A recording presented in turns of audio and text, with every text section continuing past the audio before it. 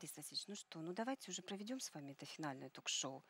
Последний бой, он трудный самый. Вот это мои слова, а вот это ваша подводка. Ну что вы молчите, Борис Васильевич? Здравствуйте, действительно, здравствуйте. Здравствуйте, уважаемая студия. Вот так весело, неожиданно и дружно мы завершаем наш масштабный проект «Четвертый век. Всемирная история Омска». Вместе с моим соведущим, популярнейшим актером театра и кино Борисом Щербаковым в эфире мы провели добрые несколько месяцев и даже как-то сроднились. За что ему большое спасибо.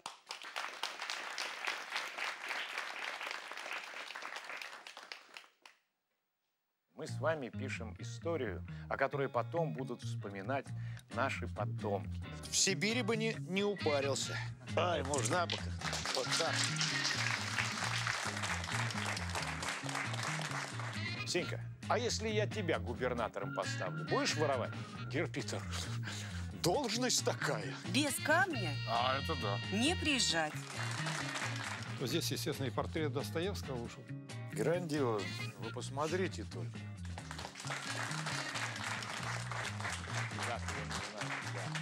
Вот такие подкандальники. А, Я надеюсь, вот это не уже подарок. хорошо. Нет, это не Виктор подарок, Слава. это музейные предметы. Вот эти потрясающие артефакты. Э, Мы собрали и храним значительное количество архитектурных деталей. Никогда, никогда ни о чем не жалеете. Ни прожитых дней, ни сгоревшей любви. Может, кто-то гениально играет на флейте, но еще гениальнее смотрели и слушали вы.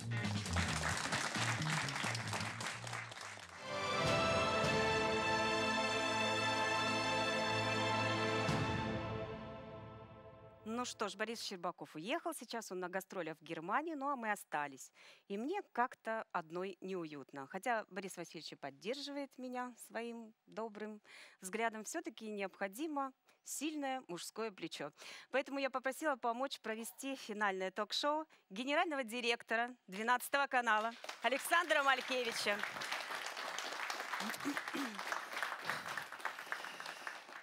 Борис Васильевич, постараемся не подвести, не разочаровать. Э, Идейный вдохновитель нашего да, проекта. Спасибо. Ну, на самом деле, спасибо огромное э, всем и собравшимся здесь, и, конечно, нашим зрителям, потому что именно вместе с вами, с жителями Омской области, мы уже завершаем третий мощнейший проект в рамках той высокой миссии, которую э, взял на себя 12 канал, э, образовывать, но через интересные интерактивные формы. Потому что я напомню кратко, что началось все с проекта «Славное имя», когда жители Омской области выбирали амича номер один всех времен и народов. И выбрали. Выбрали, да, генерал Карбышев э, победил уверенно, и действительно это символ и имя Омска. Потом был маршрут 1716, когда мы вместе с жителями составляли карту достопримечательностей Омска, народную карту. И вот сейчас третий проект, где мы летопись пишем, летопись самых значимых событий в истории Омского региона. Я потом в конце программы скажу, что в новом сезоне будет и четвертый проект, где мы продолжим вот эти наши традиции. Александр Ну, Александрович, давайте по сценарию, давайте Хорошо. по сценарию. Вот мы вновь подсчитали, не менее 200 тысяч человек проголосовали на нашем сайте. А это опять ни много ни мало, ну целый город. И еще раз, да, большущее спасибо этим людям. И вот я говорил про народную летопись. 131 событие назвали жители нашего города, области, главными судьбоносными в истории региона. 131 событие. И вот так выглядит э, двадцатка лидеров и тройка финалистов. На третьем месте с результатом 13,5 тысяч голосов открытие в 1874 году театра, ставшего впоследствии нашим прославленным академическим театром драмы. На втором месте э, с результатом в 20,5 тысяч голосов учреждение в 1990 году первого сибирского международного марафона, который стал тоже, в общем-то, визитной карточкой Омска. И торжественно озвучите первое место. На первом месте с отрывом в 5000 голосов открытие в 1813 году войскового казачьего училища, названного впоследствии Омским кадетским военным корпусом. Уважаемые пользователи интернета, уважаемые телезрители, на ваших экранах номера бесплатных телефонов. Вы еще можете повлиять на ход голосования. А вот согласна ли студия с тем, что мы сейчас представили, покажет время. Итак, внимание, у вас голосование. Александр Александрович, вы-то будете голосовать? Да, обязательно. Хотя выбор очень сложный. Посмотрите внимательно, у вас флажки. Так, Флажок номер три, скажем так, символизирует у нас, как вы думаете, что? Ну, конечно же, наш прославленный театр драмы. Вот он такой зелененький, красивый в центре города. Что может символизировать? Красный флажок. Ну, конечно, финишную красную ленточку. Значит, это те, кто голосует за первый, за учреждение в Омске Сибирского международного марафона. Ну и это, это наши замечательные кадеты. цвет формы, цвет ВДВ, в общем, И, и цвет той реки, на которой был, на берегу которой был выстроен наш прославленный кадетский корпус. Итак, внимание.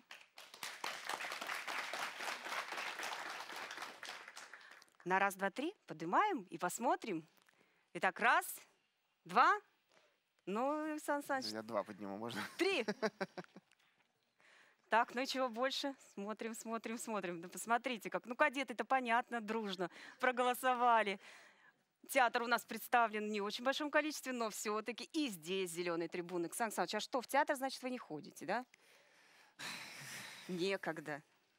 Все понятно, все понятно. Ну что ж, а мы продолжаем. Вернемся к двадцатке сильнейших.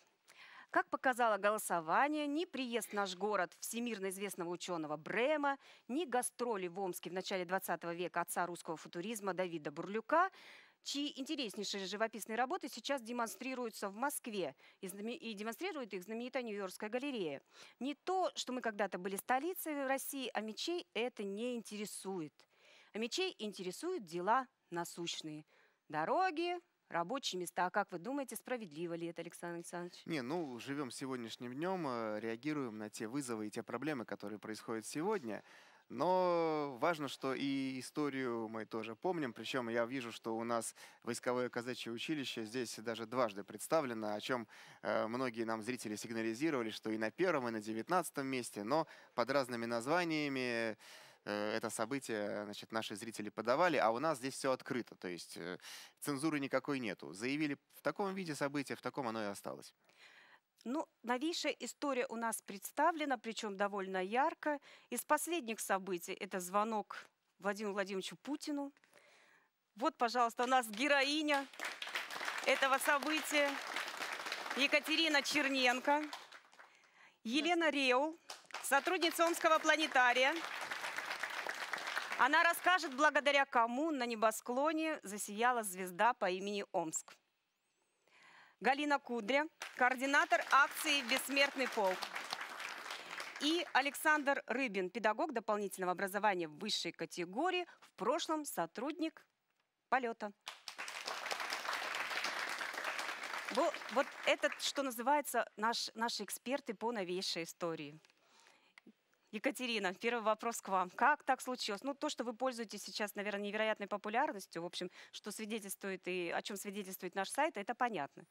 Как так случилось, что вы решились на это? Здравствуйте. Ну, решилась я, наверное, одна из тысяч, которые хотели это сделать. Ну вот, у меня так получилось. Думаю, изъявила желание многих о главной нашей проблеме тогда, на тот момент. Ну, конечно, мой вопрос э, звучал обширно, не только про дороги, я там задавала много, но сам акцент сделали, конечно, на дороге. Ну, Но вы Видим заметили, сейчас. какое действие оказал ваш звонок вообще на все, что происходит сейчас он в был Омске? первым, поэтому он такую как бы бомбу и сыграл. Вот вы понимаете, что сейчас э, начальник авто, автодорожного, автодорожной вот этой вот службы уже жалуется, что в силу того, что дороги стали лучше, стали больше лихачить. Да. Он говорит, по нам бы так вообще бы они оставались такие, какие были. Ну Нам бы- ладно, у нас бы не, не повышала статистика по ДТП. пусть, пусть лихачат, ну там как-то, значит, больше полиции пусть стоит там, ГИБДД, там, не знаю. Не, ну Но мы, мы на дороги... самом деле все благодарны, Кать, вам, потому что э, Владимир Владимирович там принял ряд важных решений, почти судьбоносных, там про увеличение дорожного фонда, о, о том, что окрасить эту строчку, поэтому э, мы рассчитываем, что и дальше эти темпы финансовые не будут сбавляться. Вы как с обрушившейся популярностью потом стали жить? Потому что, во-первых, там часть общества стала переживать, что вас предадут репрессиям каким-то ужасным, Выгонят А, из Омска. ну, практически, да. А. часть, да, часть о том, что вы теперь станете там новым, там чуть ли не политическую карьеру начнете. Вот что теперь в вашей жизни а, происходит, хорошего и плохого после У этого? меня практически ничего не поменялось. Знаете, и популярности я на себе, слава богу, никакой не испытываю. Иногда читаю, конечно, плохие отзывы там в интернете, в социальных сетях это есть. Я, ну, не хочу сказать, что я вот такой человек, что, ну, конечно, спасибо огромное, что я там попала в двадцатку, но я думаю, каждый бы, наверное, Мич на тот момент... На моем ну, месте, надо сказать. Каждый на моем месте, позвонил бы президенту. да.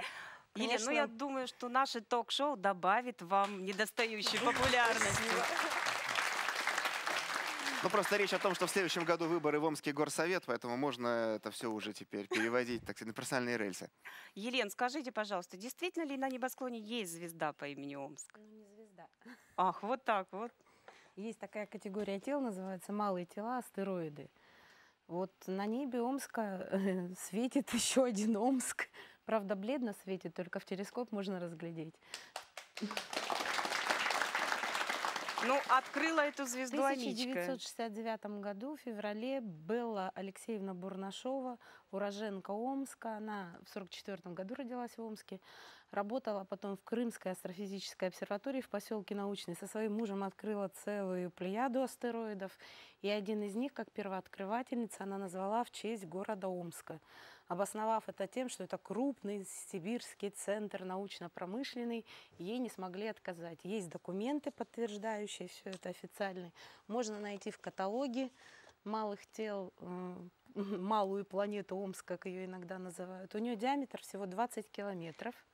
Это немного, да? Это Два- немного, да. Она находится между Мар- Марсом и Юпитером в поясе астероидов главном.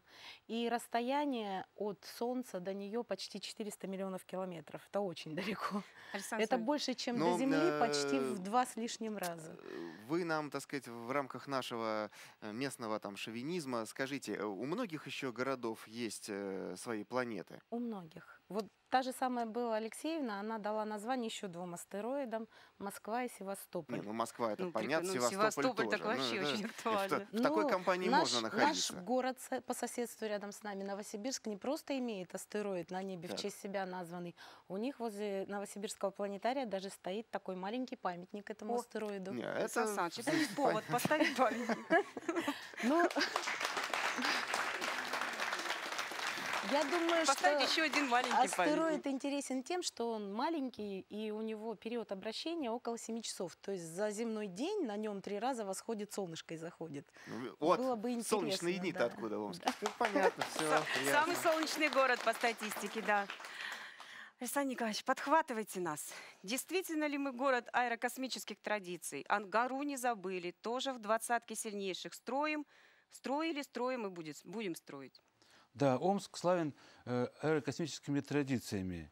Не зря после Великой Отечественной войны по постановлению партии и правительства э, вместо производства самолетов на производственное объединение полет было развернуто производство ракет. Ракеты Р-12, Р-16 э, это ракетный щит нашей Родины, который в свое время сыграл очень большую роль. А космостреем сколько мы строили, Ракета, да? да. 40 лет. Рак- Ракета «Космос 3М» – это уник- уникальная ракета, которая обладает надежностью 99%. Выводит на орбиту полторы тонны полезного груза. Затем на производственном объединении «Полет» было развернуто производство самых современных и мощных ракетных двигателей РД-170, 171. Вы как бывший сотрудник полета освоим сейчас полный цикл Ангары, как считаете? Ну, конечно, вот э, благодаря вот э, введению полета в конце Хруничева, да, у полета появились перспективы. И вот эта ракета «Ангара» сначала мало, среднего класса, потом более тяжелого класса, «Ангара 5М», это прорыв в аэрокосмической отрасли Омской области. Ну и России вообще в том. Да, благодаря Скажите, этому... вот нас, нас всех простых, вот простых смертных интересует, есть красная кнопка? Вот на что надо надавить, чтобы жахнуть или бахнуть? Ну, во-первых, красная кнопка это не у одного товарища, а у двоих как минимум. Это у Так. президента и министра обороны. Ага, а в Омске нету, да? В Омске нету. И Уже слава хотелось богу. Бог ну, Александр Александрович, вот хочу сказать, что и э, путинская Мичка, уж извините, вас так называют, и звезда по имени Омск, Омск. и Ангара, в целом они набрали, может быть, не очень много голосов. Но вот бессмертный полк из новейшей истории, он перекрыл всех вместе взятых. Тут, тут цифры за, за десятки тысяч. Галина Григорьевна, ну как так? Вот вроде же, вот только же началась эта акция. Сколько ей лет-то всего? Всего три. А какой отклик у людей вызывает? Действительно, бессмертный полк – это событие и российское, и омское. Это река человеческая, вызывает потрясающие эмоции у всех. На это трудно смотреть вообще без слез. Несут портреты тех, кто не дожил именно до этого Дня Победы. И эти портреты несут внуки, правнуки, редко уже дети, они иногда копят даже силы, чтобы пройти хотя бы часть этого пути. Галина Григорьевна, вот сколько уже амичей приняло участие? Вот так вот, вот такие вот, может быть, приблизительные статистические данные. Да, вот То, что происходит, вот мы видим, вот оно перед нами, тут что говорить. А мечи насколько вот э, живо откликнулись на эту акцию? Вот я знаю, я сама ее снимала как журналистка. Обещали 10, пришли 20 тысяч. Никто, 30 тысяч наверное, было. даже в 2013 году, э, когда мы это все начинали, не предполагал, что будет из этой обыкновенной акции такое движение, российское движение. И, наверное, даже неудивительно, что в одно и то же время в разных городах к разным людям пришла идея выйти с этими портретами. В Омске в 2013 году было 2-4 тысячи, потом их было 12, 15, 20. И в этом году по улицам города нашего шли 30 тысяч, 30 а в области более 50. В общем, 80 тысяч почти во всех поселках Омской области. Вот я когда слышу, что Томск придумал, все время обидно. А почему не мы? Я бы так не сказала, почему не мы. Просто, может быть, именно вот в таком формате придумали и название придумал Томск, но одновременно и Москва, и Тюмень, и я думаю, что Омск. В Новосибирске еще раньше прошли с такими портретами.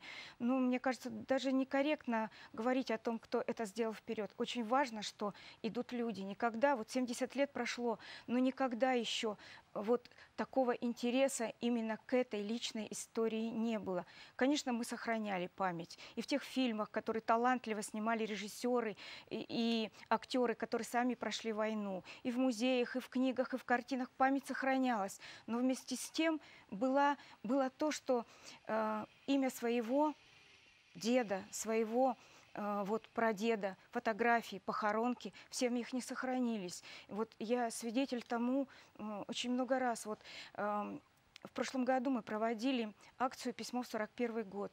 И вот один мальчик пишет, «Здравствуй, дед, прости, что я не знаю, как к тебе обратиться.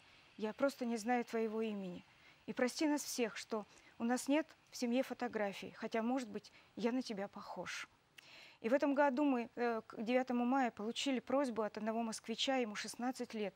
Так хотелось ему помочь. Он все в интернете узнал про деда, но так случилось, что тоже не сохранили фотографию. И он обращается к мечам ко всем помочь. Я была и в танковом институте, на танковом заводе, откуда он призывался. Я обращалась и в военкомат, и к ветеранам. Помочь нельзя. Так грустно, хотя очень хочется ему помочь. И вот, наверное, никогда, э, вот 70 лет прошло, но никогда не было вот у всех такого желания. Может быть, это наше даже желание выпросить у них, попросить у них прощения за то, что мы э, м, помнили. Ну, может быть, наши вот такие вот патриотические акции, когда мы обращаемся в историю, к своему прошлому, может быть, мы уже и заслужили это прощение. Да, и глядя на это, да, Достойно мы представили новейшую историю. Достойно. Тогда продолжим. Итак, я напоминаю, что на сайте 12 канала еще идет голосование. И вы можете повлиять на его ход. А пока я предла- предлагаю посмотреть сюжет о финалисте, который занимает третье место в нашем рейтинге. Представляем Омский, Омский театр драмы. академический театр драмы.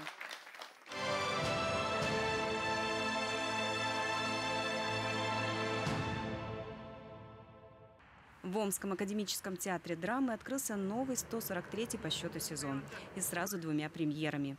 На основной сцене показали спектакль «Искупление» Фридриха Горенштейна в постановке Алексея Крикливого. Режиссер Новосибирского молодежного театра «Глобус» давно мечтал поработать с омской труппой.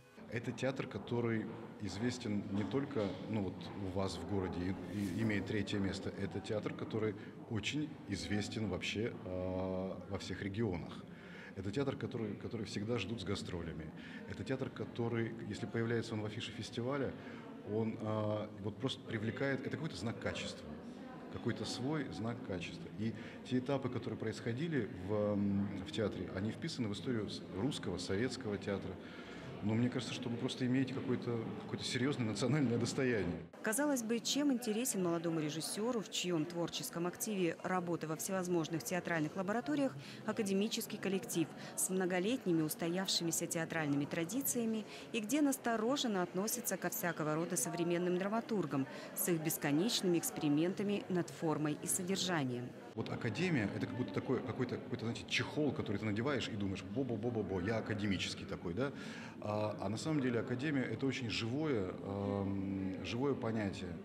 И то, что внутри коллектива я чувствую вот эту энергию э, ежедневного поиска, размышлений, проб, а, там, может быть, ошибки, которые, которые питают нас больше, чем еще что-то, какой-то путь, процесс, который здесь э, вот мы сейчас чувствуем. Практически одновременно со спектаклем на основной сцене в Омском театре драмы состоялась премьера и на сцене камерной.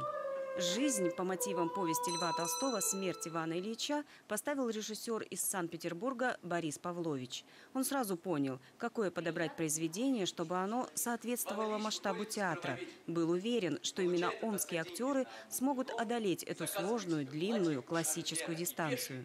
Театр э, действительно находится в диалоге с э, мировым театральным сообществом.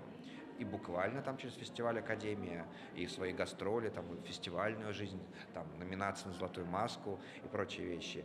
Но и как э, определенный, ну, как бы, ньюсмейкер, который э, создает ну, может быть, не новые тренды. Это не, явля... это не центр эксперимента театрального, но это какое-то место, которое производит вот этот эм, театральный воздух. И приятно, говорит Павлович, что театр оказался в тройке лидеров исторически значимых арт-объектов Омска. Особенно если учитывать, что посещает театр всего 5-7% населения. И, конечно же, театр не столь очевиден и актуален, как, к примеру, дороги или ЖКХ. Если для э, мечей э, Омский академический театр драмы является некой такой вот константой, чем-то таким важным, при всем том, что об этом говорят даже те, кто не является его, может быть, постоянными зрителями, это значит, что они чувствуют его присутствие уже вшитое в материю города. И это очень сильный показатель. И это еще раз доказывает, что, во-первых, режиссеры выбрали для своих постановок правильный город, а мечи существуют в правильной системе координат, где над горизонталью с ее стремлением накапливать материальные блага всегда главенствует ось вертикальная, которая и делает жизнь осмысленной и одухотворенной.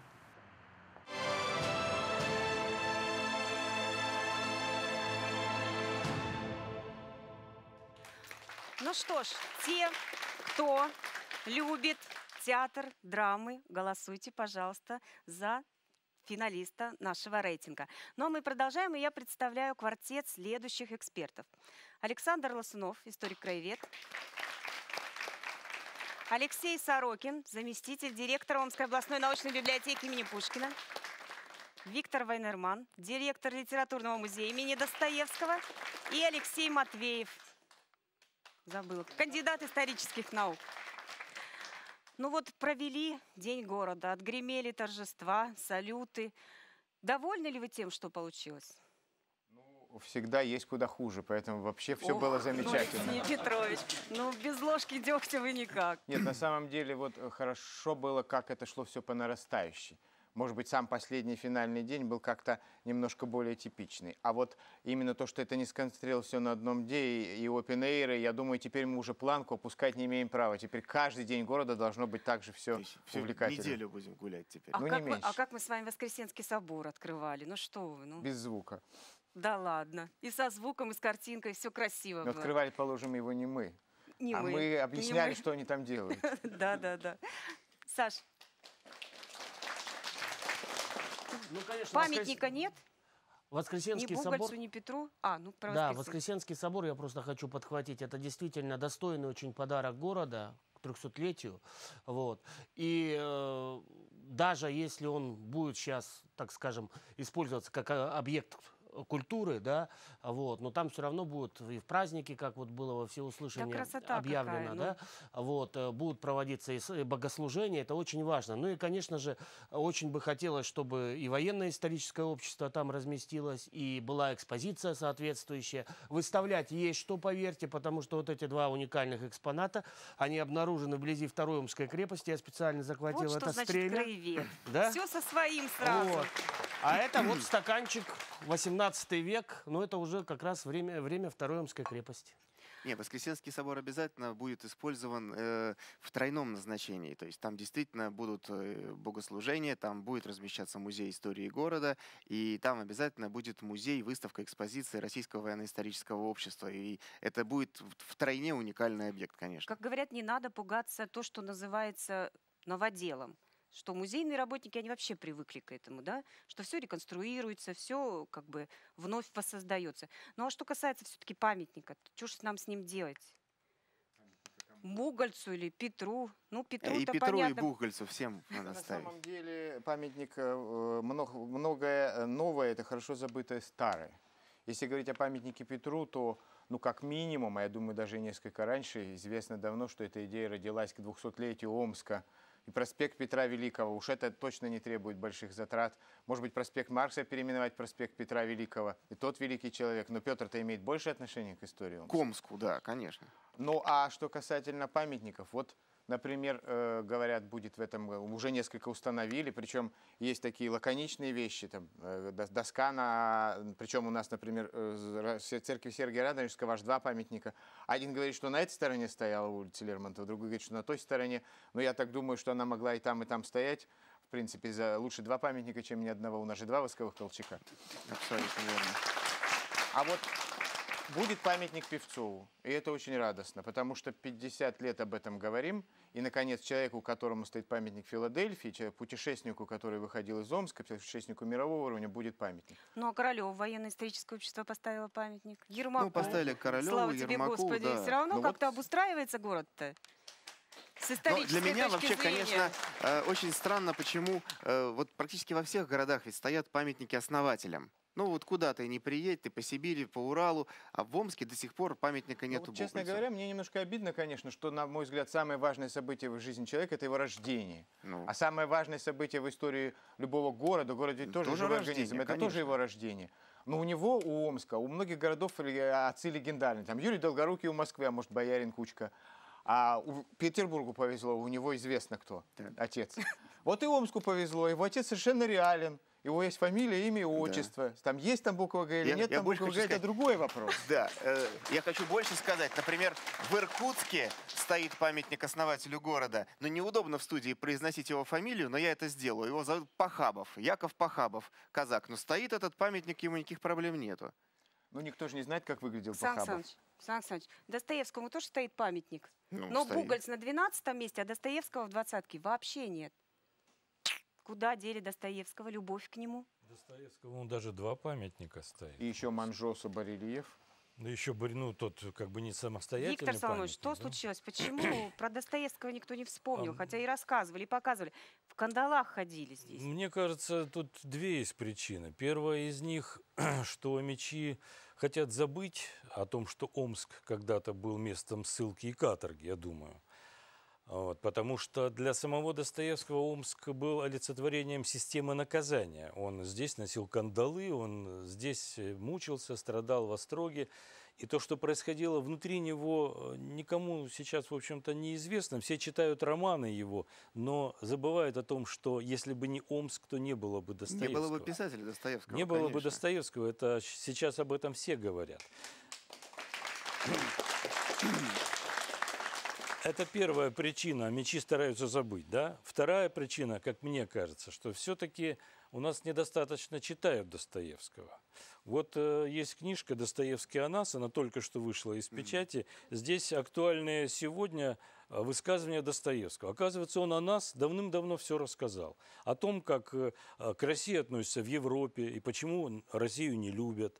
О том, как русского можно узнать за границей. Да? О том, как мы живем, о наших взаимоотношениях. Ну, о многом, о многом. Вот а, а, открываешь, и Достоевский о нас. Понимаете? Вот это удивительно. А мы, а мы читаем, мы даже не читаем, мы бегло проходим «Преступление и наказание» в школе. Это в лучшем случае, если мы от корки до корки прочтем эту книгу. А в худшем-то мы и ее не прочитываем. А ведь Достоевский это не только еще, это великое пятикнижие, но это и дневник писателя, это и его публицистика, колоссальный массив. У вас такая книжечка одна? Вот я принес специально, чтобы вам Подарите? подарить. Всем Объявляйте на- на- конкурс, вот, кому подарить. На всю студию одна книжечка. Алексей, ну вы-то с последними впечатлениями, да? Только что вернулись из экспедиции, ну почти только Почти что. только Где что. были, что делали? Ну, мы вернулись в день рождения города и прибыли главными наверное, гостями на наш праздник. Во главе с большой парусной эскадрой на струге Атаман Ермак мы вошли в наш город, нас приветствовали сотни тысяч мечей. М, Мы увидели реконструированный Воскресенский собор и были рады, потому что когда уходили в экспедицию, он еще не был построен, и купола еще не стояли. А, В этом году состоялась большая международная комплексная а, экспедиция, которую организовало Омское отделение Русского географического общества и Павлодарский дом географии. Она состоялась от Омска до села Ямышево, до Ямышевского озера, откуда и началась история будущей Омской крепости, и вернулась обратно. Экспедиция прошла при поддержке правительства Омской области, и наших попечителей у нас есть такие, у нашего Омского отделения, за что им большое спасибо. Задача, да. А, Ведь а, Букольц основал первую Ямушскую крепость, а потом основал Омскую крепость. А потом в течение пяти лет между ними возникли еще крепости, форпосты и редуты. И наша задача была найти места расположения этих оборонительных сооружений. Важно было провести там просветительские мероприятия. Нашли, провели. Нашли, провели. А еще наша эскадра в составе пяти яхт пришла в город Павлодар и приняла участие в празднике Дни Иртыша. И представьте себе это зрелище, когда был большой парад судов Павлодарской области и замыкали наши пять красавиц под руководством Сергея Борисовича Щербакова. За что Сергею Борисовичу Щербакову президент России Указом вручил... президента, да, вручена медаль ордена за заслуги перед Отечеством первой степени. Борис Васильевич, вы довольны деяниями своего однофамильца? И еще, Светлана, если Да. позволите, понимаете, у нас была большая гуманитарная миссия, ведь жители этих населенных пунктов – это потомки сибирских казаков, по сути, русские люди, живут на территории соседнего с нами государства. И для них проход эскадры, проход наших автомобилей, на которых были российские флаги, ну, наверное, ни один мальчишка, сидя дома, увидев русский флаг российский, спросил своего отца, а вот кто они, что они, зачем они. И тот им рассказал, знаешь, а мы казаки вообще сибирские. И вдруг у этого мальчика что-то проснулось. Ну, по крайней мере, мы э, думаем, что наша экспедиция была не просто атака. Она была важна для русских людей на Павлодарской земле, она была важна и для наших казахстанских друзей. В общем, э, мы почувствовали дружбу и любовь Казахстана к Омску. Но Да, и э, ведь Алексей представляет здесь еще и музей Врубеля, да, э, в одном из подразделений которого в корпусов э, в дворце генерал-губернатора. Э, в этом году была развернута выставка, э, которую э, организовал, провел, сделал 12 канал, и это был наш э, такой нетелевизионный э, подарок к 300-летию м, города. Э, Значит, известный российский художник-карикатурист Александр Зудин нарисовал 30 рисунков. Вот в 30 рисунках отразил 300 лет истории Омска, и вы сейчас видите на экране здесь как раз те э, изображены, в общем-то, события, о которых мы и говорим здесь в этой студии. И Бугольс, э, кадетский корпус, здесь театр драмы и, значит, э, Михаил Александрович Ульянов э, и вся та жизнь, которая э, бурлила. Вот э, сибирский марафон, авангард, арена Омск. Все бегут. Да, между прочим, руководитель кадетского корпуса на трибуне вместе с маршалом Язовым, Достоевский. Эта выставка несколько месяцев работала, а Итогом? мы, да, итогом эти рисунки, а также тексты об истории Омска э, соединены в книгу, которую я, пользуясь случаем, хочу передать в дар Омской областной библиотеки для того, чтобы она там находилась э, на вечном хранении и была доступна. Спасибо. Тем более, что она мне очень дорогая, я тоже немножко там ее почитал. А я, в свою очередь, хочу э, подарить передачи 12 каналу Омск в описаниях путешественников. 300 лет, время и город. Новое У меня такая есть. дополненное издание. Александр Спасибо большое. Спасибо. Спасибо. Ну что ж, а теперь о спорте, как говорят в наших выпусках новостей. Какие бы ни проходили у нас в эфире рейтинги, опросы, исследования, львиную долю в них занимают события, посвященные спорту. Не случайно поэтому первый сибирский международный марафон занимает в нашем рейтинге второе место. А в дни праздничных мероприятий, в преддверии главного спортивного события, значит, самого марафона, занимал первое место. О спорт, ты мир.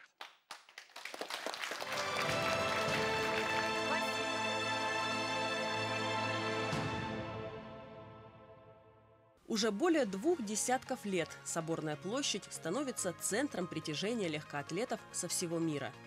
Именно здесь, в самом центре города, берет свой старт знаменитый сибирский международный марафон. Сегодня СИМ, а именно так звучно называют марафон его многочисленные поклонники, престижное спортивное состязание, в котором участвуют десятки тысяч бегунов со всего мира с миллионным призовым фондом. Первый старт состоялся 4 августа 1990 года. Тогда испытать себя решили полторы тысячи человек, 366 из которых сразу же заявились на классику – дистанцию в 42 километра 195 метров. Идея провести в Омске слет легкоатлетов принадлежит двум бегунам-любителям – педагогам Омского политеха – Александру Ковалеву и Дмитрию Ходько. В 1988 году они, будучи участниками международного марафона в Москве, познакомились с американцем Мэрилом Герингом. Узнав, что его новые друзья приехали из далекой Сибири, он пригласил их вступить в Ассоциацию легкоатлетов мира, а позже, как бы шутя, предложил встретиться через год, но уже на марафоне в Сибири. Сибирякам-энтузиастам повезло. Идея провести в городе спортивное мероприятие подобного рода нашла отклик как у руководства региона, так и у простых омичей. Это вот было окно, окно в Европу, да. Э, Мы с одной стороны, а иностранцы с другой стороны рубили окно в Сибирь. Конечно, им понравилось. Они приехали, э, они немножко, э, ну, обманулись в своих ожиданиях, да. Все считают, что у нас же тут мед- медведи ходят и по улицам и так далее. Медведи не увидели, они увидели вполне приличный э, мегаполис, да, тем более миллионный мегаполис, тем более э, мы как э, гостеприимные хозяева, да, навели в городе порядок. Ломая стереотипы, Сим стремительно ворвался в жизнь некогда закрытого для иностранцев промышленного сибирского миллионника. Надо отдать должное. Вот, э, очень многие идеи, которые в 1990 году в марафон были изначально положены, были совершенно новаторскими. Такие понятия, как спонсор, менеджмент, ведь не существовали вообще в принципе в 90-х годах. И все это появилось именно на первом марафоне. Да? Э, В общем-то, первый марафон, по сути, открыл город Омск для зарубежных участников. Город был э, закрытым, это известный факт. И а, вот приезд сразу большой группы, более 30 человек, представителей марафонского движения из-за рубежа, э, факт тоже сам по себе удивительный. Я так думаю, что марафон существенный шаг сделал в развитии нашего города. Уже на второй год своего существования Сим получил сертификат международных марафонов и пробегов. А еще через год был установлен и рекорд трассы. Молодой уфимский спортсмен Эдуард Тухбатулин пробежал дистанцию за 2 часа 13 минут. Побить его результат до сих пор так никому и не удалось. В 1995 году в программе Омского марафона появился новый вид – экиден.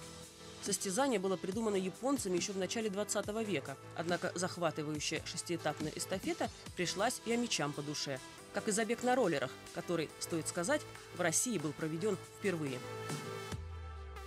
Самые же сильные эмоции по праву доставались спортсменам-колясочникам, воспитанникам Омской школы, неоднократным участникам Паралимпийских игр. Много лет подряд они показывали на марафоне результаты, не оставляющие другим спортсменам никаких шансов. Посмотрите, момент триумфа. Я скажу, что это момент триумфа не только Алексея Иванова. Его, конечно, в первую очередь, посмотрите, вот это. Это момент триумфа омского спорта вообще. В свое 18-летие сибирский марафон установил рекорд массовости. В нем приняли участие более 16 тысяч человек из 20 зарубежных стран и 41 региона России. Неоднократно на пьедестал почета поднимались и амичи.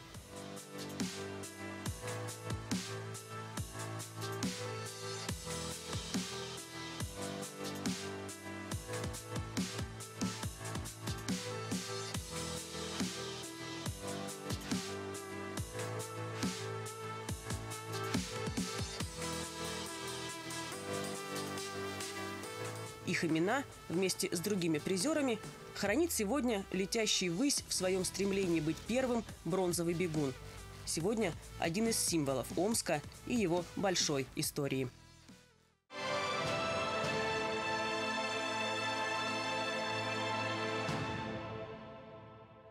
Ну что ж, это был, это был сюжет в защиту второго места. Но про спорт мы еще говорим. О наболевшем. Вчера «Авангард» в матче с Салаватом Юлаевым проиграл. Дать отчет за все, что происходило вчера, мы пригласили в нашу студию Олега Малицкого, пресс-секретарь хоккейного клуба «Авангард», Александр Костюков, арт-директор хоккейного клуба «Авангард», Олег Качесов, заместитель директора департамента подготовки резерва хоккейного клуба «Авангард», и Константин Ященко, менеджер по работе с болельщиками. Что было вчера? Почему проиграли опять? А также поза, поза вчера, там и поза, поза, поза и так далее. было и поза, поза, поза, поза, а там были победы. Но на самом деле все просто. Э, Проигрывать, конечно, не очень приятно, да, но э, это неизбежно, потому что в сезоне 60 матчей и э, в регулярном чемпионате, и всегда кто-то выигрывает, а кто-то проигрывает. Конечно, хотелось бы побеждать больше, побеждать чаще, но у нас это было в самом начале сезона, сейчас легкий спад. И э, процесс, э, он на самом деле очень э, объясним легко. Э, команда в процессе строительства сейчас находится. Тренер пришел э, новый в самом начале сезона. И, э, конечно, хоккеисты находят игровые связи, тренер находит связи с хоккеистами. И все это непросто. И, конечно, вот так, чтобы э, серийно побеждать по э, там, 10 раз подряд, это сейчас, наверное, никому недоступно, даже ЦСКА и СКА. А, по той простой причине, что конкуренция в лиге очень серьезно выросла, и каждая команда, которая к нам приезжает, она, естественно, хочет выиграть, Олег, точно ну так же, вот, как и мы. э, Вы упомянули как раз и ЦСКА, СКА. Скажите, вот как мы можем здесь противостоять вот этим жирным, э, богатым э, клубам? Потому что мы понимаем, что там безграничные финансовые возможности и ресурсы, а у нас, что у нас вот в качестве У нас противовеса? тренерская мысль, исполнительское мастерство, дисциплина, порядок, характер. И болельщики. Вы меня буквально, да, с языка сняли, безусловно, болельщики. По той простой причине, что я, э, знаете, не буду говорить вот эти банальности, что там хоккей жизни и все остальное. Да, это все давно известно избито. А, я приведу простой пример. Хомутов, чешский город, э, ну, я не могу сказать там захолустный, да, ну, обычный чешский городок, не центральный совсем, да. Э, Там наша команда проводит сбор, да, и вот у нас первый контрольный матч. Мы идем, и мы глазам своим не верим. Вот перед первым контрольным матчем ну, я не скажу половина стадиона, но треть стадиона точно в наших цветах. Люди с Европы, которые жили в Омске когда-то, переехали, ну, мы знаем, да, Азовский национальный округ много э, делегатов, так сказать, в Европу, да, отправил и так далее, и так далее. Они все приезжают э, поддержать команду, и они до сих пор верят и э, любят ее. И вот э, эта связь, она реально, этот мост, вот он из Омска в Европу и дальше по всему миру. У нас есть Ну вот, Константин, да, э, вот как раз речь о болельщиках, то На самом деле всегда приятно слушать хорошие слова наших болельщиков, потому что мы, от Олега, да. У нас этот год знаменательный. Во-первых, 15 лет отпраздновала э, московская диаспора фанатов хоккейного клуба «Авангард». Мы их поздравили. Следующий год юбилейный для нас. 30-летие будет праздновать Омское фанат, э, фанатское объединение болельщиков. А, Мы всегда с командой, где бы она ни была, мы ее очень активно поддерживаем. И в успешные игры, и те, которые иногда случаются, как вчера. У нас очень большая армия болельщиков. Мы готовы принимать болельщиков со всего мира, любых, чтобы к нам приходили, болели за нашу любимую команду. Ну вот, э, продолжая тему, раз уж я о ней заговорил, там, да, вот про богатые клубы, которые скупают звезд везде пачками, там, э, из-за океана выписывают. А вот э, мы... э, Своих. Своих, так сказать, да, вот молодежи Как можем растим? противопоставить? Там у нас э, как смена-то подрастающая? Смена у нас растет, и каждый год, в общем-то, мы выдаем в команду молодежной хоккейной лиги. В этом году вот 12 человек удалось подписать контракты, которые ребята устраивают на данный момент уровень подготовки. И вот наша задача именно подготовка резерва, качественного резерва. Для этого нам создаются как бы максимально возможные условия. А есть талантливые мальчишки? Они всегда есть. Или это вот Значит, только от условий зависит? Нет, но таланту нужно помочь. Создать те условия, в которых он может развиваться. Главное, чтобы они потом не сбежали просто. Вот. Но это уже другой вопрос. Это к руководству клуба. Почему? Вернее, да, это почему понятно. 2004 год на четвертом месте, авангард чемпион, все во всех рейтингах. Что бы мы ни проводили, без этого события никуда. Почему? Потому что это чемпионство, и понимаете, что вот еще, Александр, отвечая на ваш вопрос, э, что и как противостоять, что противопо- противопоставить э, СКА, ЦСКА, я хочу сказать одну простую вещь. Веру. Верьте в команду, верьте э, в нас, и все будет хорошо. И Есть такое четверостишье. э, есть истина простая. Поймешь в какой-то миг, что крылья вырастают у тех, кто верит в них. Поэтому, Вера, болельщики, приходите на хоккей. Александр, вот смотрите, в общем-то проект патриотического содержания. История превалирует, но спорт всегда. Вот все-таки что-то есть в этих проектах, что интересно не только любителям литературы, культуры, истории, но и спортсменам. Вы знаете, сегодня «Авангард» — это не просто какой-то клуб, а сегодня «Авангард» — это социальный проект для нашего города, Ну, это для бренд, нашего, в общем, Омска, э, это- о- для нашей области. И не просто шоу, не просто вид отдыха, а это еще и продвижение э, здорового образа жизни. Да? И если вы придете на хоккей, вы можете увидеть все. И всех э, встретить там и военных, и э, пожарных, и людей культуры. В общем, это большое объединяющее, э, такое мощное для Омска. и Такая и региональная области. национальная Да. идея, Да. Александр, Ну, вы мне за кулисами просто такие добрые слова говорили, что наши проекты помогают Вы знаете, да. образу Я жизни. хочу сказать, во-первых, спасибо 12 каналу за те хорошие э, трансляции, которые вы организовываете а, Не из всех только городов, хоккейные, где да? играет «Авангард». И спасибо большое отдельное за те программы, которые вы создаете, потому что они очень нужны в наше время. Те э, программы, которые э, рассказывают э, про историю нашей области, нашей страны, а рассказывают о тех людях, которые, собственно, сделали большой вклад э, в в мировую историю, науку. И спасибо вам за то, что вы любите Омск и Омскую область. Спасибо. Но на самом деле, действительно, вот э, ведь это 131 событие навсегда, это останется на сайте у нас в специальном разделе, и будут э, вырастать все новые и новые там, да, поколения ребят. И вот это, по сути, учебник омской истории. Потому что за каждым событием есть И своя авангард история. вписан в нее Да, золотыми однозначно. буквами. Я думаю, что не только э, авангард, но и э, весь спорт Омской области. И не города. только спорт. Ну что ж, мы все ближе подбираемся к финалу. Участник голосования номер один с беспрецедентным количеством голосов. Почти 30 тысяч. Омский кадетский корпус.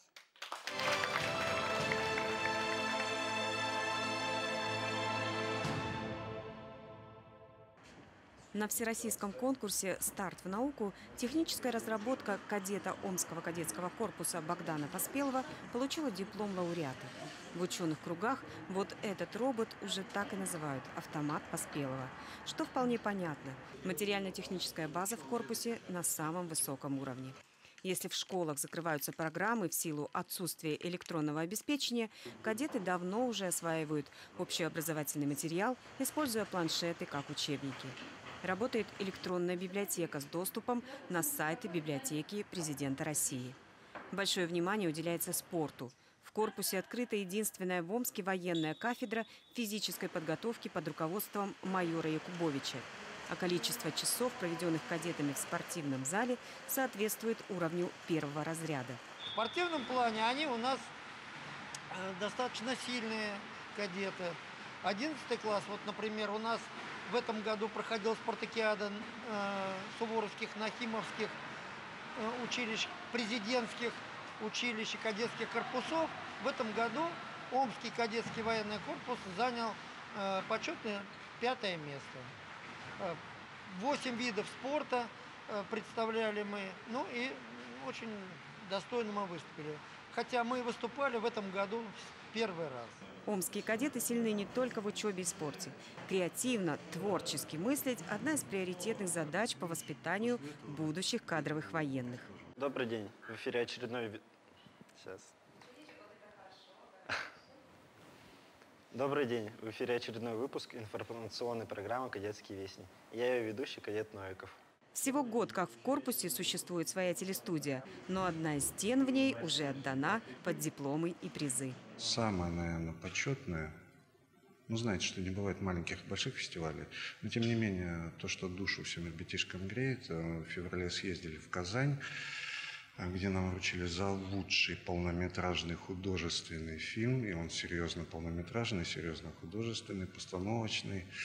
Э, номинации лучшая режиссерская, лучшая актерская работа, где принимали участие, я на полном серьезе, московские киностудии. В октябре омские мальчишки поедут на Всероссийский фестиваль творчества «Кадет», где они удостоены первой премии. Повезут новый короткометражный игровой фильм. В нем амичи уже не просто кадеты, а будущее элитных войск России. С 2014 года Омский кадетский корпус относится к воздушно-десантным войскам и прикреплен к 242-й воздушно-десантной дивизии, базирующейся в Омске в поселке Светлом. Наши кадеты разносторонне здесь у нас развиваются в течение срока всего обучения. В этом году мы набрали уже э, шестого класса э, кадетов. На следующий год будем набирать пятый класс и будет уже полный цикл семилетнее образование. И вот за семь лет мы из маленьких мальчишек, они вырастут крепких молодых юношей, которые продолжат свою учебу в высших военных учебных заведениях. Вот и получат великолепное военное образование и в дальнейшем будут служить на благо нашей Родины. Никто, кроме нас, не выдержит это. Воздушный десант на самом краю. Никто, кроме нас, мы падаем в небо, несут купола.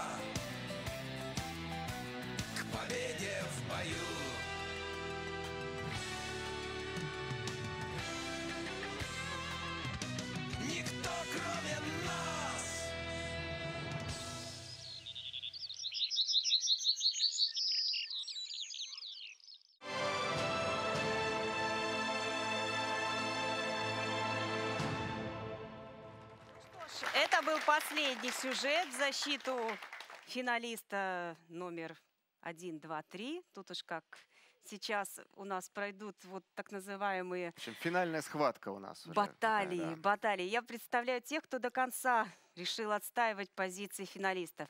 Итак, адвокат Омского академического театра драмы, тележурналист Елена Мамонтова.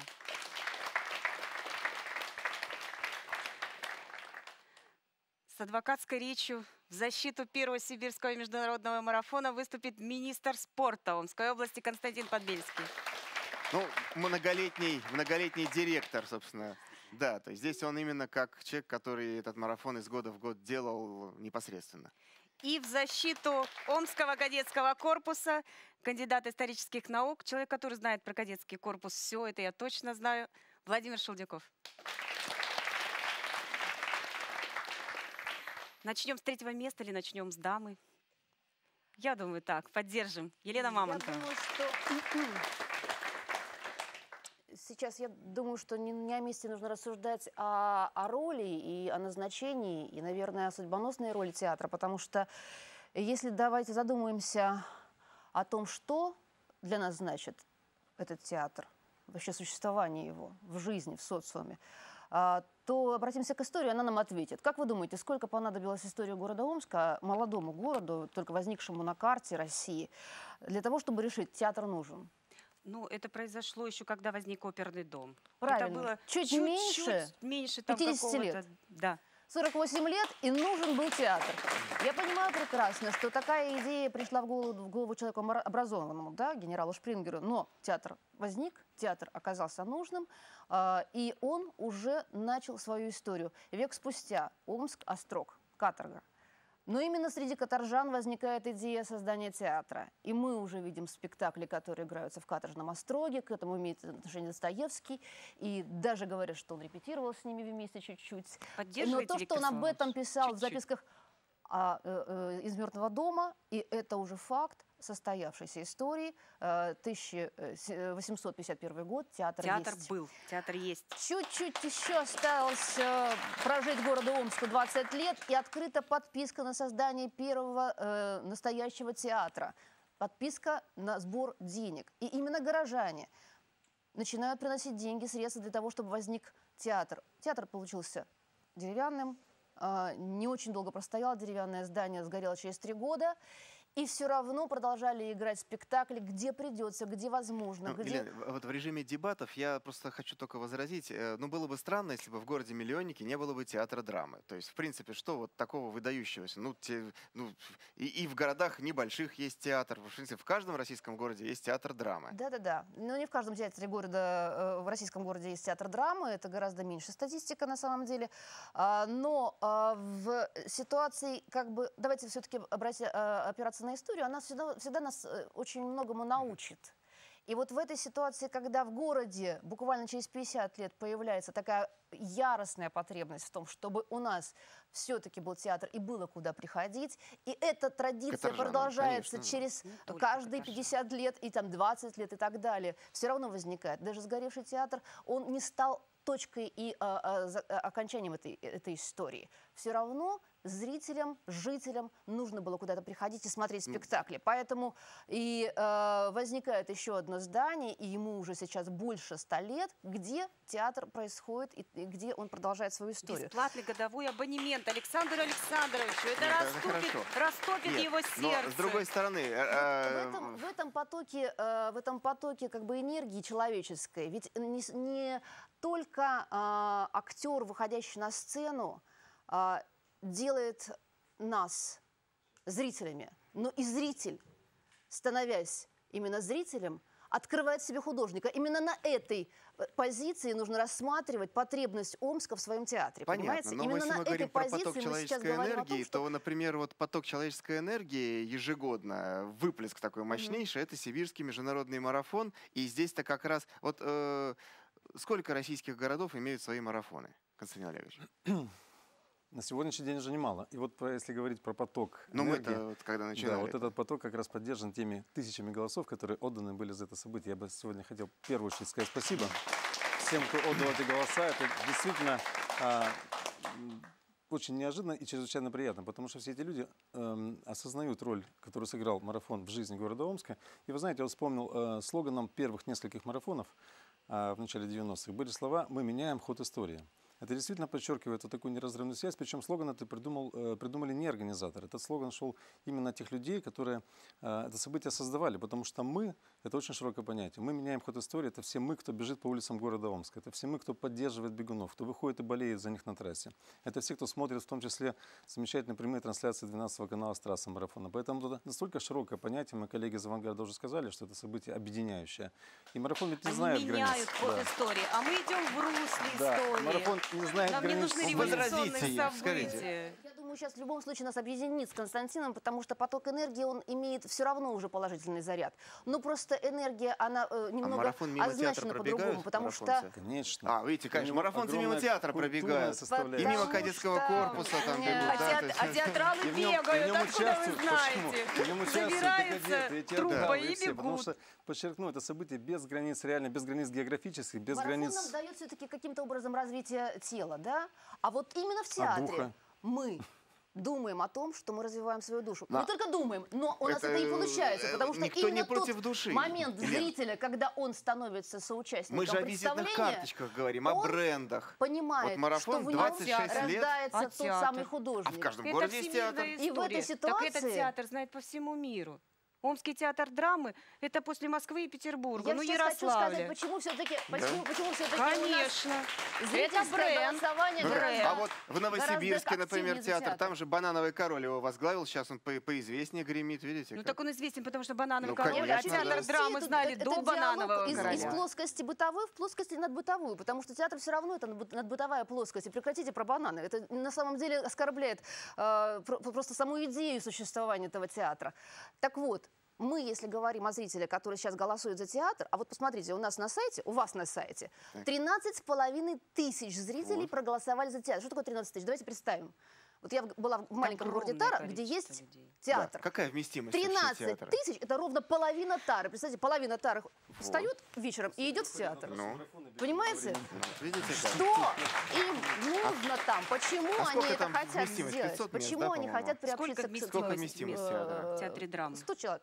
Какие 100 человек? Вместимость в театре? это 400-500, А, да. мы, мы, в- мы сейчас, подождите, я Нет, ментально в таре. В таре, да. Э, Значит, э, в драме у нас э, 700 мест, и если мы Сколько? говорим про удобные места, 465 человек. 465. человек Ну вот, видите, 13 тысяч, если разделить проголосовавших на 465, то я пока пойду посчитаю, но это много. Ну, это много, Да. в том-то и дело. Я, я просто хочу представить, что ско- сколько это какая будет большая Ну, армия. очень Если много. учесть, что в театр ходит по статистике А если их потом 5% еще населения. поставить, и они побегут сибирский марафон, то тоже будет впечатляющая цифра. Да, так и Замечательно. происходит, конечно. Володя, Я все-таки свою адвокатскую вещь должна закончить по-адвокатски, раздали мне эту роль, поэтому я ее до конца доведу. Эффектную точку поставьте. Значит, я вам хочу сказать, что если э, театр все-таки пробуждает в нас художника и заставляет нас поверить хотя бы на, на секунду, что смерти нет, Так. что жизнь вечна, значит, этот художник – это наш ответ очень серьезному а, а, очень серьезной мысли, которая очень здорово выражена именно Бердяевым в его самопознании, когда Бог ждет в человеке ответа, творческого ответа, Так. человеческого ответа. Так. Он нуждается в творчестве человека. Вот на этой дерзновенной мысли вы можете дальше голосовать или не голосовать понятно. за театр. Константин Он Андреевич, есть а и вот Лена, э, вам марафон нужно это первое ответ на место? что? Нет, И кому? нам достаточно третьего места. Мы и так Нет, в мы рейтинге. поняли. Мы есть. Дерзновенная э, мысль. э, так. Я даже не пытаюсь оппонировать, потому что марафон это тоже событие духовное. И не случайно была О. подчеркнута сила духа любого марафона. Вот за мной сидит Марина Ковалева, победительница сибирского марафона. Она знает, что очередь Поддерживай марафон Марину это в мыслях, это в голове. Да. Поэтому еще раз подчеркну, я не пытаюсь никому оппонировать, ни с кем спорить, потому что изначально это событие доброе. И вот эта доброта его подчеркивается, ну, наверное, теми улыбками, теми, той энергией, которую несут все участники, Хорошо. зрители, все. Мы выяснили, что И у все, нас имеет э, театр знают во всем мире, марафон это визитная карточка. Мы переходим э, к Омскому кадетскому корпусу, и я, значит, в режиме... Володя, я удивляюсь вашему спокойствию. Вот, вот, вот так, Да? как стоит кадетский корпус. Да, спокойный, Незыблемый и невозмутим, да, незабвенный. Да. А поскольку театров мы выяснили много в России, марафонов теперь тоже хватает, но, наверное, и военных училищ, и кадетских корпусов достаточно. Почему тогда вот первое место, Омский именно кадетский корпус, настолько это важно для города? Понимаете, вообще меня смущает сама постановка вопроса, потому что все три явления нашей истории, нашей культуры, они очень значимы. И большое спасибо всем тем, кто проголосовал за эти три явления. Но вот мы говорим марафон, марафон, а откуда пошло это слово? Если бы не было сражения в Марафонской долине в Древней Греции, то не было бы и марафонской дистанции. И тот, Вот вам и- вот тот- вас и рассудили. и тот гоплит, который бежал в Афины не за, не за миллион рублей, да, Вот, и испустил дух, сказав, радуйтесь, афиняне, мы победили. Он, он э, имя его известно, но это как бы одна из версий. Он ведь э, что хотел? Чтобы жители э, перестали бояться, что войско вернется с победой, что не придут враги, которые будут О. грабить, насиловать, Не было бы сражений, жечь. не о чем было бы спектакли ставить в театрах там, да? в Эпидавре, они игрались как раз-таки для душевно больных, чтобы их оздоровить. И последняя стадия, их выписывали и отправляли в Эпидавр. И там они обретали уже абсолютное здоровье. Понимаете, театр еще и В общем, лечит. театр вдохновлял военных на сражения. И лечил тоже еще потом. И- Понятно, хорошо. и тоже. И э, древние, древние греки придумали Олимпийские игры не для того, чтобы развлекаться или ставить рекорды, а для чего? Для чего они метали перемирия. копья, э, диски, бегали, занимались кулачным боем? Они готовились к чему? К войне. Они готовились к войне. То есть армия перемирие, да, это э, фак- фактически единственный гарант существования э, э, народа. Вот. В принципе, любой амич может э, пойти в театр драматический. Почти любой амич может пойти и пробежать э, какую-то дистанцию во время мара- марафона, но не каждый попадет э, учиться в кадетский корпус. Почему? Умеет. Потому что офицерский корпус – это ядро, стержень армии. Это особый отбор, и э, мы, амичи, должны гордиться тем, что вот э, уже 200 лет э, на э, значит, э, Иртышском берегу, в нашем городе, куются кадры для армии, для российской императорской, для советской, а сейчас снова для российской армии. Сначала э, э, офицеры шли в сибирское казачье войско, э, в сибирские линейные батальоны. Потом они стали по всей армии распределяться. И вот, э, допустим, э, актеры или спортсмены, они выезжают на гастроли, на соревнования, но они возвращаются, конечно же, они работают э, прежде всего на регион, на город. А офицеры, которые потом по всей стране идут служить, они работают на страну, понимаете, на страну. И- Сан Саныч, ну не поспоришь. Нет, на вот самом что деле значит я как раз хотел ученый, сказать, что, мужчина? возможно, вот на высокую позицию еще повлияла э, действительно история корпуса и его выпускники. Вот большое количество достойнейших, известнейших людей, причем самого разного, если можно так сказать, профиля, да, то есть там были и те, И кто... ученые, и ученые, и- там и политики, И писатели, всё. и, все были, да, это правда. Театр точно так же имеет э, и огромную э, и известность, и мировое признание. Так, э, и в марафоне Лена, мы поддерживаем твое люди, да? стремление защитить А театр. сколько известных мечей каждый год выходит на трассу марафона, да? А сколько известных мечей пополняет столичные и нестоличные, даже зарубежные театры? Так, Да, Всё. ходят. Все, брейк. Ну что ж, где ваши флажки? Я предлагаю еще раз проголосовать и проверить, изменилось ли мнение студии. Сумели ли наши адвокаты переубедить вас? Ксан Саныч, где ваши? Ну, флажки? я, я не могу, Вы я, я сердцем, скажу вы в, фи- фи- сердцем. фи- финаль- финальном... Все-таки в э, театр. Вот сейчас закончим и в театр. Пустят нас в такое время Отпустят. Театр всегда. Вам? Хорошо. Итак, на раз, два, три поднимаем. Раз, два, три. Так же. Что с зелеными? Побольше, побольше. Мы идем в театр. И мы идем в театр. Все, я поздравляю. Я думаю, что победила дружба. А сейчас мы посмотрим голосование. Вот, внимание, у вас на экранах голосование не изменилось.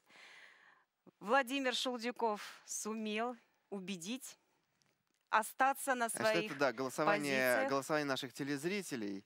И сейчас мы должны посмотреть, э, что у нас на сайте Мы происходит. останавливаем игру, стоп-игра, да. Вот 27 тысяч, вот как я и говорила, почти 30 тысяч – это кадетский корпус, 22 тысячи – это Сибирский международный марафон и три, чуть более 13,5 тысяч за театр. «Авангард» достойно удерживает четвертую позицию.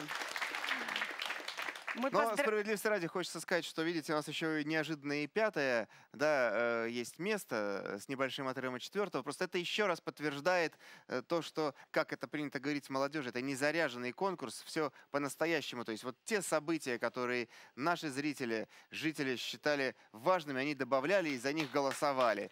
И мы вместе вот эту народную летопись важных событий написали. Но мы все-таки предполагали, что Омский кадетский корпус, что его позиция не изменится, что он останется финалистом. Поэтому мы связались по телефону с начальником Омского кадетского корпуса, героем Советского Союза Николаем Васильевичем Кравченко. Он у нас на связи. Николай Васильевич, здравствуйте. Здравствуйте. Вы откуда? Я нам, из Крыма. Нам в студию. Из город Кры- Феодосия, военный санаторий. Дали, дали все-таки начальнику немного отдохнуть. Николай Васильевич, ну Да. ваши победили.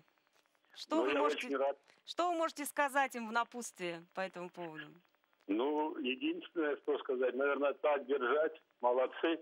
Я сам уважаю театр, неоднократно участвовал в марафоне, но кадетский корпус – это действительно защита нашей Родины, наших интересов. Это будущие защитники, офицеры. И поэтому я им желаю побед всяческих везде, на всех фронтах. И вот на таких передачах, и на КВН у нас команда участвует на КВН, и в спортивных состязаниях, в жизни и везде быть впереди, быть первыми. И главное защищать свою страну, свою родину. Спасибо, Николай Васильевич. Мы, мы еще раз поздравляем кадетов, и у нас у них есть что нам сказать тоже. Я представляю Александра Михайловича Рисованного, Александр заместитель начальника кадетского корпуса по воспитательной работе. По распоряжению начальника кадетского корпуса, Героя Советского Союза Кравченко Николая Васильевича, э, за сохранение, приумножение кадетских традиций, за большой вклад в дело воспитания патриотическое воспитание кадет, современных кадет, награждаются памятной медалью Омский кадетский корпус Шелдяков Владимир Александрович. Вот, защищал, защищал до последнего.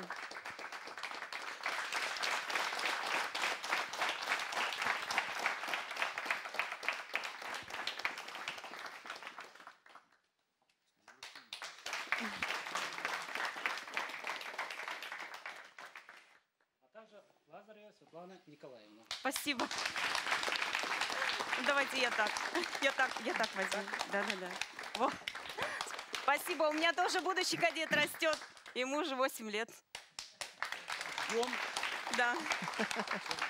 Спасибо большое. Сан Саныч, ну что, ваше последнее слово? А, Я хочу что- еще раз э, поблагодарить всех э, наших зрителей, наших гостей. Мы вместе сделали большое дело, и я повторюсь еще раз, это третий наш проект э, на Ниве просвещения, э, образования, э, но с э, элементами, обязательно с элементами интерактива в игровой форме. Мы определили Амича номер один. Мы составили народную карту достопримечательностей Омска. Мы написали народную летопись из 131 события, самых интересных, значимых событий в истории Омского прииртышья. Мы вместе с вами вступаем в новый сезон и запускаем четвертый проект, который будет называться «Туризматика 55». И мы также в наших лучших традициях будем вместе с нашими зрителями, с жителями области составлять карту красот Омской области, достопримечательностей, удивительных мест, которые по всей Омской области расположены, для того, чтобы показать, что на Омской земле, мы уже показали, есть люди, которыми можно и нужно гордиться. Есть и- интересные места в Омске с его 300-летней историей. Есть удивительная история Омского прииртышья. И по всей области есть изумительные, красивые места, куда можно, куда нужно ехать, куда нужно привозить своих друзей, гостей, показывать им, что Омская область удивительная людьми, историей, культурой, архитектурой и своими красотами. Поэтому смотрите 12 Спасибо, канал дорогие в друзья. До встречи в новых тоже. проектах. Береты цвета неба и АКС в руках И ветер от турбин прижмет траву Навеки в нашем сердце десантные войска. Мы засыпая видим синеву. В тугих, как струны стропах Нам ветры пропоют Как родина красиво свысока. Пусть знают, что державу никогда не подведут Воздушные десантные войска. Никто, кроме нас, не выдержит это воздушный десант. На самом краю никто кроме нас. Мы падаем в небо. Несут купола К победе в бою На острие атаки, когда везде огонь И все, пылая, рушится вокруг. Нам БМД поможет, десанта верный конь Прикроет со спины надежный друг. На марше и в полете, в горах и небесах Горели, мерзли, ползали в болотах Мечтали, чтобы выжить и чтоб женские глаза Стреляли сердце вместо пулеметов. Никто, кроме нас, не выдержит это. Воздушный десант на самом краю. Никто, кроме нас, мы падаем в небо несут купола К победе в бою. Никто, кроме нас